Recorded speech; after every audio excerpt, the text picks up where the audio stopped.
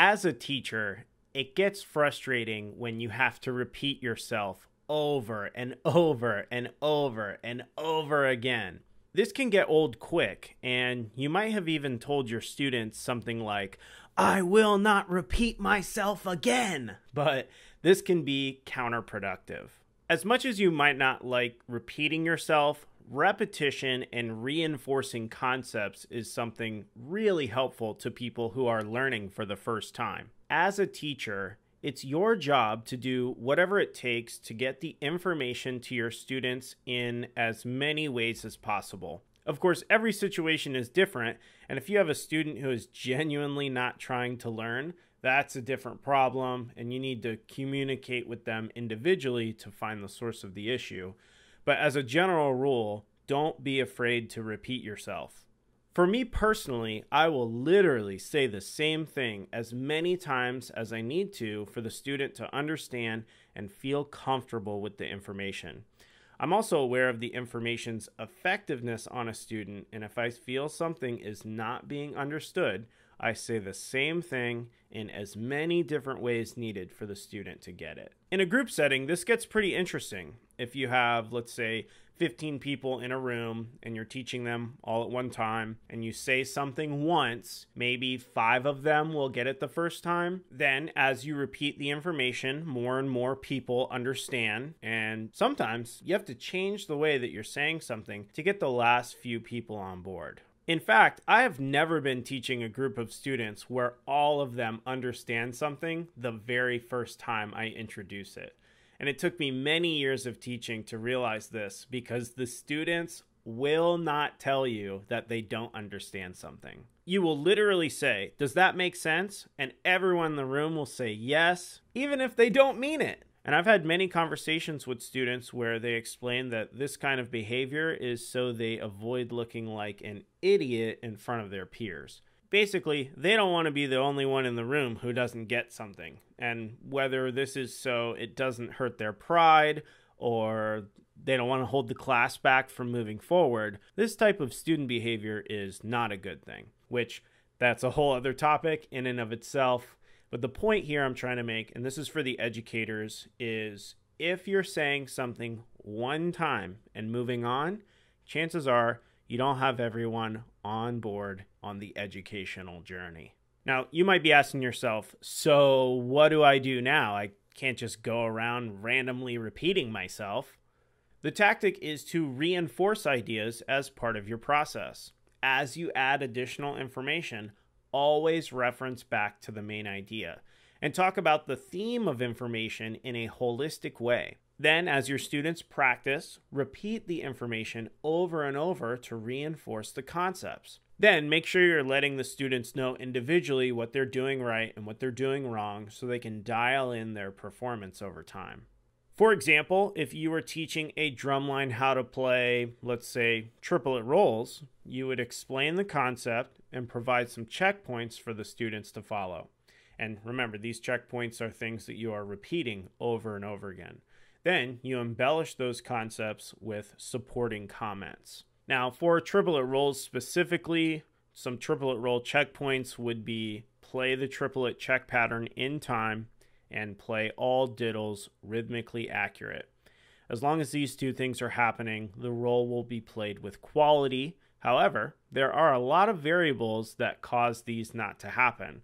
So you talk about them in more detail with supporting comments. And some supporting comments might be don't allow the diddles to change the triplet roll hand motions. Know your listening situation and balance to the contact sound of that person. And drive your feet and put your hands to your feet. Through a rehearsal block, you might mix these comments together as you teach. So here's what a set of feedback comments might sound like during rehearsal.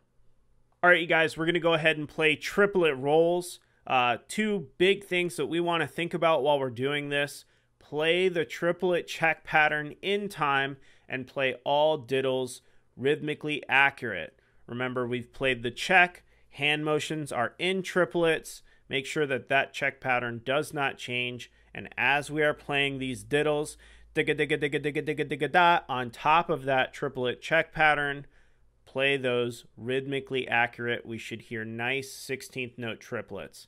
All right, here we go. Eight and you're in. The drum line plays, last time, release, relax. Then I would say something like, All right, great job, you guys. Now, don't allow the diddles to change the triplet hand motions. We're good in the check, we're playing in time in the check, but now our hand motions are starting to slow down. So don't allow the diddles to change the triplet hand motions. Here we go again. Drumline plays, last time, release, relax. All right, you guys, make sure you know your listening situation and balance to the contact sound of that person. Everyone point to where they're listening to. Everybody points, okay? Now, at this point, you want to make sure that you are giving advice based on what's actually happening. But as an overarching theme, you are saying these main ideas and really getting that as sort of a mantra for them to think about as checkpoints as they play. So you're pointing out things, you're getting super detailed, but then you're also making sure that you're repeating yourself and saying, all right, guys, we're going to play the triplet check in time, play all diddles rhythmically accurate. They play again, then you hit them with that last time. It's time to go. All right, guys, last time, make sure two biggest things play the triplet check in time, play all diddles rhythmically accurate. Now, you know, the block ends and everyone is leaving. And even if they don't remember exactly all the little teeny tiny details that happened, they at least have these main ideas in their head. And that's a very good place for the performers to be in the interim between uh, rehearsal ending and being in their practice time. And now, when they're in their practice time, they have these ideas in their head of, okay, something that they definitely made sure to let us know was to play the triplet check pattern in time and to play the diddles rhythmically accurate. So now, without you being there with the student, they have you there in their mind because you have given them that repetition of information and they remembered it. If you don't like repeating yourself, this isn't the most fun way to teach, but it can be the most effective. And in my book, any teaching method that helps my students get better and reach their goals in the most comprehensive way possible, that is the most fun. I want to make sure that it is a full, total comprehension. A hundred percent of the group is fully understanding what's happening and a lot of times, the only way for that to happen is through repetition of information, which means you got to repeat yourself. All right. So, thank you guys. Thank you so much for listening. If you enjoyed this, please give it a like, subscribe if you haven't already, share it with your friends, and as always, keep practicing like the best so you can perform like the best. This is Mark Perrett with Gridbook Percussion signing out. Peace.